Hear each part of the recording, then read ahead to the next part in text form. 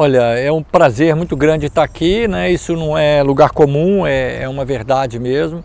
Já joguei algumas vezes contra o esporte aqui, então é, eu sei muito bem o que é jogar aqui na Ilha do Retiro e estou muito feliz, assim, estou feliz, assim, muito bonito o, o, estádio vermelho e preto, é lógico que já tem planejamentos aí para outros projetos de, de, de, expansão do estádio, de renovação do estádio, mas assim, o que eu vi mais de mais interessante mesmo é o calor humano, é assim, a, a, a, o ambiente das pessoas aqui, então assim, há uma receptividade para continuar um projeto de ascensão né, administrativa e econômica e a busca de uma performance técnica cada vez melhor. Então esse é o meu propósito de estar aqui e eu espero contribuir com esse projeto. Eu vou dizer que todo mundo no futebol, no, nos clubes de futebol, fazem um pouquinho do cargo de coordenação.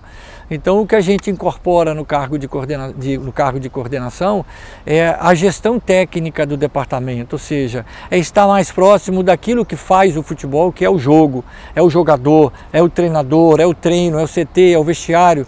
Então a gente vai estar perto de todos esses elementos para poder fazer com que essas coisas aconteçam de uma maneira mais fluida, de uma maneira mais profissional, cada vez mais profissional, proteger muito o trabalho de campo para que as coisas aconteçam tecnicamente como deve ser. Enfim, é, é a solução para tudo? Não, mas é um upgrade, é, uma, é um, um elevado nível de atenção da gestão do esporte. Então é por isso que eu estou aqui, é, já trabalhei dessa forma em outros clubes e eu espero que não só com a minha vinda, mas também com um, uma, um ganho assim de, de conscientização esportiva, o esporte cresça cada vez mais, como vem fazendo nos últimos anos.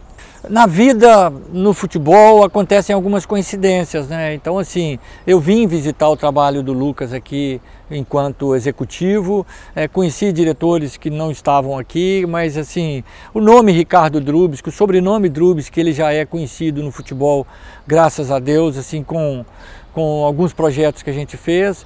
Então, assim, é, como tudo, né?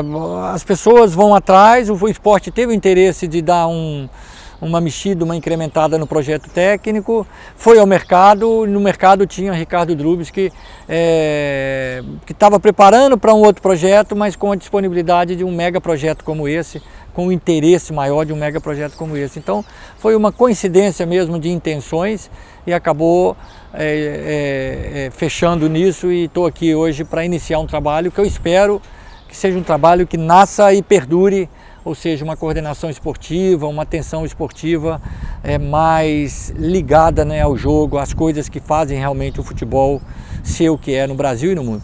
Você tem algum recado para o torcedor rubro-negro? Pois é, eu assim, eu quero que eles me causem a sensação positiva que eles causavam quando jogavam contra as minhas equipes aqui, né? Ou seja, é, eles é, torciam muito para o esporte e me faziam sair daqui triste. Então, assim, a gente ver é, esse estádio cheio é muito bonito, é muito legal. Então eu espero que o torcedor do esporte tenha um pouquinho de tranquilidade, é, tenha aquela expectativa confiante de que está tá sendo feito um trabalho muito importante aqui dentro.